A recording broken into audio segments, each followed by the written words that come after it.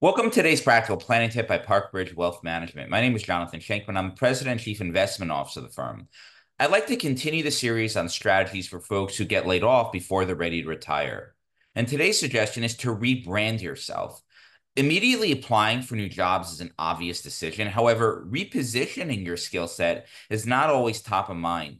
One of the reasons older employees may lose their jobs is because is due to an antiquated skill set. That being said, after spending several decades in a particular field, you're bound to pick up th many things that the 25-year-old rookie who just replaced you does not yet possess. This includes experience, contacts, industry knowledge, secrets of the trade, and more. Leveraging these insights can lead to a career in a different job function within the same field. And I would suggest folks listening to this who are late in their careers and looking for a new job to make a list of skills they have and figure out how they apply to different areas within their industry. You may be surprised at the opportunities that are available. Tomorrow, I'll discuss starting consulting business. And with that, I hope you found this practical planning tip helpful. Until next time, stay prudent, practical, and don't forget to plan ahead.